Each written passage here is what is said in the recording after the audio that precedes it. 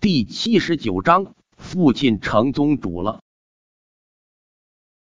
没想到清风山分宗中居然还有这么一个厉害的人物。是啊，清风山分宗那么偏僻的地方，很少出现什么太厉害的高手。没想到居然会有这样级别的高手。啧啧，现在看来有热闹看了。他们的核心弟子被人三两下收拾的犹如丧家之犬一般，少阳分宗的人焉能善罢甘休？是啊，听说这次少阳分宗也出了一个势力强劲的天才，居然有接近几个种子弟子的实力。那个人叫什么来着？叫温世阳。对，就是那个温世阳。除了那几个种子弟子之外。他也算是排得上号的了。啧啧，没想到清风山分宗中还是有人物的。嘿嘿，他什么实力？到时候我们很快就知道了。我才不信他会不去测试石碑那边试试实力呢。到时候实力如何，岂不是一目了然？见着少阳分宗的人离去，叶希文也没有多做停留。进了内院之后。这才问道：“到底是怎么回事？怎么会被这些混蛋欺上门？”张扬看了看叶希文，眼神中有一些复杂。叶希文变得更加强大了。如果说之前张扬还能说看得出来一些叶希文的境界的话，那么他现在是完全都看不出叶希文的境界了。原本叶希文虽然战力超群，并且还斩杀过一个先天高手，但是境界却也还只是后天九重的境界罢了。他还说得上能看穿，但是现在的叶希文真气已经转化了一半，境界也超过了只转化了一成真气的张扬，达到了先天一重的巅峰。而战斗力更是高到他都难以估测的地步了，而这一切都是在短短几个月的时间内发生的。如果不是亲眼所见，他恐怕也不会相信，居然真的有人能做到的吧？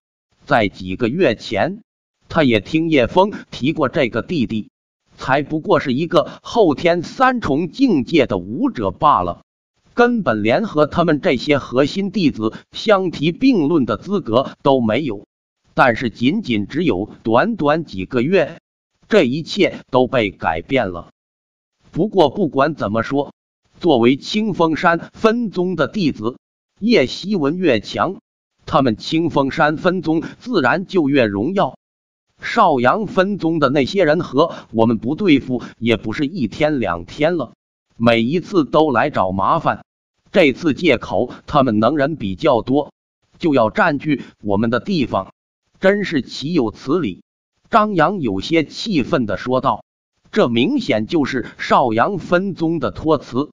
这座山峰这么大，而他们这些份分宗弟子加起来连五百个人都没有，怎么可能住不下？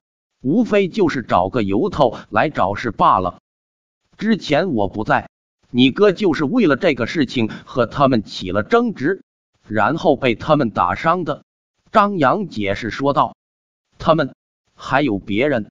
叶希文问道：“是的，如果光是那霍成的话，你哥哥也已经转化了两成的先天真气，虽然还不如霍成，但是也不远了，自保也有余。”真正动手的还是少阳分宗这次的第一高手，叫温世阳的，已经是先天二重的高手。你哥就是被他打成重伤的，险些又被霍成那小人废了武功。我回来的时候，温世阳已经走了，这才救回了你哥哥。张扬将事情娓娓道来。什么？叶希文不知道叶枫还差点被人废了的事情，否则的话，直接一脚废了那个霍成，岂容他这么轻松的走掉？不过叶枫能够这么短的时间内就转化了两成先天真气，确实非常了得。这才三个月的时间，非但突破到先天境界，甚至还转化成了两成的先天真气，天资绝佳，不逊色于那些顶尖的弟子。只不过清风山一脉比较晚发下先天丹，不像其他的分宗，这次是下了血本的，要培养出一些天才。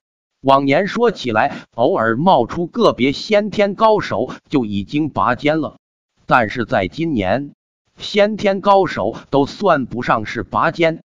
等到清风山一脉打探到消息的时候，其他分宗的弟子都已经晋升先天好几年的时间了。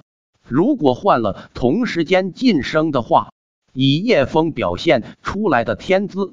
恐怕连先天二重都早就突破了，不过也无妨。在总宗丰沛的资源的倾斜下，这几年的优势算不得什么，无非就是在拜入总宗的时候嚣张一些罢了。是天才的，出人头地是肯定的。叶希文听到叶枫被人打伤，还差点被人废了武功的事情，顿时怒发冲冠。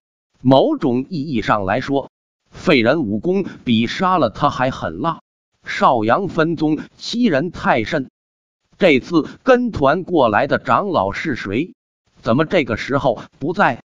叶希文问道。一般来说，这些分宗弟子过来，肯定不会是单独过来的，都会派宗内的长老级人物过来的。一来保护他们不会在路上出事，二来。也是保护他们在总宗内不受欺负。不要以为那些内门甚至是核心弟子都是好说话的人，一个不小心都会吃亏。在这个实力为尊的世界，哭都找不到人哭去。三来也是为这些弟子拉关系，尽量安排到一些实力强劲的高手的门下。虽然到底拜入哪一脉？得看入门考核的情况，但是这些人脉关系在很大程度上也是有用的。总宗之中也有很多都是从分宗走出来的高层，这些人就是这些分宗最大的靠山。这次跟团过来的是宗主大人，张扬说道：“怎么会是宗主大人？”叶希文奇怪的问道。怎么这次会是宗主亲自护送？还不至于吧？一般宗主都是要亲自坐镇分宗，轻易不能离开的。也是，你走得早，所以你不知道，宗主大人已经卸任了。现在我们清风山分宗那边的宗主大人，就是你的父亲。”张扬说道。“什么？”叶希文惊道，“他才离开这么两个月。”居然就发生了这么大的变化，父亲居然成了宗主。虽然叶空明原本就是长老，但是长老和宗主根本就不是一回事。分宗的宗主在待遇上甚至堪比真传弟子，而长老就差老远了。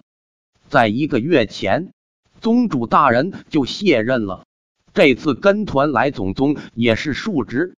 张扬解释说道：“那现在宗主去哪里了？”叶希文问道。